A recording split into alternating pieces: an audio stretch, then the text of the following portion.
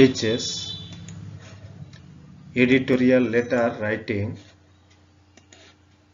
editorial letter writing দু হাজার একুশের জন্য ভেরি ভেরি ইম্পর্টেন্ট কোশ্চেনটি হলো write a letter to the editor of an English daily about the miserable condition of your local hospital তোমার এলাকার হসপিটালের দুরবস্থা সম্পর্কে।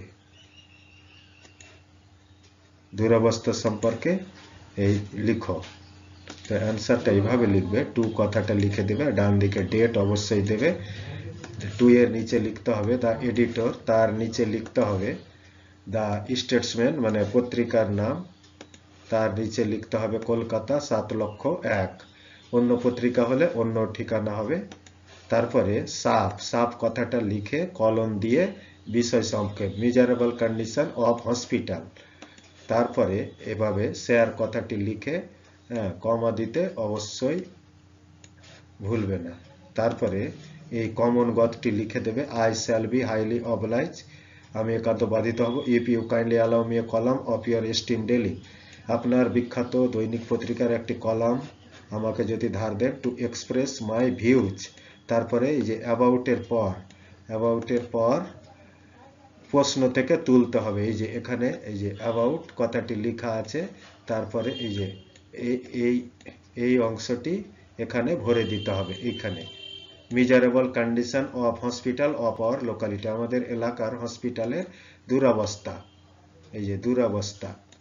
তারপরে লিখবে হসপিটালে কীরকম দুরবস্থা? সেটি অবশ্যই লিখতে হবে। I live in Shahbazpur of Kaliachak three আমি কালিয়াচক থ্রি আন্ডার মালদা মালদা জেলার কালিয়াচক থ্রি ব্লকের শাহবাজপুরে বাস করি। তোমাদের যেখানে বাস করো, সেখানে লিখবে বা এটি লিখে দিলে হবে in Golapganj.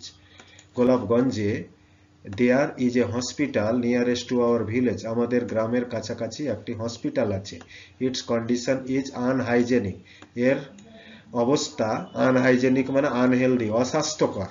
The floors of the rooms are dirty এই ঘরগুলোর যে রুম বা ফ্লোর মেঝে রয়েছে, সেগুলো ডার্টি নোংরা। দ্য হসপিটাল প্রেমিস মানে প্রাঙ্গন ইজ এক্সট্রিমলি ডার্টি অত্যন্ত নোংরা। দি দি ডক্টরস আর ইরেগুলার ডাক্তাররা খুবই অনিয়মিত। The nurses are more irregular তার থেকে বেশি ইরেগুলার বা অনিয়মিত ফাঁকিবাজ হলো নার্সেসরা।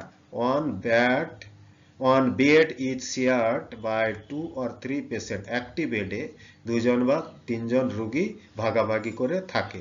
Many patients have to die without proper treatment অনেক রুগীকে বিনা চিকিৎসায় মরতে হয়। Dogs and cats roam about the floors মেঝেতে ঘুরে বেড়ায় ডগস অ্যান্ড ক্যাটস মানে কুকুর বিড়াল তারপরে লাস্ট প্যারাতে এই কমন গথটি লিখবে আন্ডার দিস সার্কামস্টান্সেস এই অবস্থার পরিপ্রেক্ষিতে দ্য অথরিটি ইজ রিকোয়েস্টেড কর্তৃপক্ষকে অনুরোধ জানানো হয়েছে টু টেক প্রপার স্টেপস সঠিক ব্যবস্থা গ্রহণের জন্য টু স্টপ দিস এগুলো বন্ধ and bring neat and clean environment পরিষ্কার, পরিচ্ছন্ন পরিবেশ ফিরিয়ে আনার জন্য অ্যাজ সুন অ্যাজ পসিবল যত সম্ভব, তাড়াতাড়ি সম্ভব পারা যায়। তারপরে লিখবে থ্যাংকিং ইউ তারপরে এই যে কমাটা দিয়ে দেবে।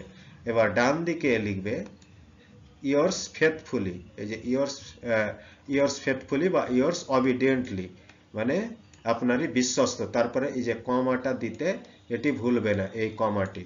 তারপরে তার নিচে নিজের নাম ও ঠিকানা লিখে দেবে। আর মোবাইল নম্বরটা অবশ্যই জুড়ে দেবে। তো এই গেল উচ্চ মাধ্যমিক editorial letter bad condition of hospital আমার এই চ্যানেলটি সাবস্ক্রাইব করে রাখলে সমস্ত সাবজেক্টের টু দি পয়েন্ট পরীক্ষা উপযোগী ছোট করে নোটস পেয়ে যাবে। আমার এই চ্যানেলটি অবশ্যই সাবস্ক্রাইব করবে এবং লাইক কমেন্ট শেয়ার করতে ভুলবে না। তোমাদেরকে অনেক অনেক ধন্যবাদ।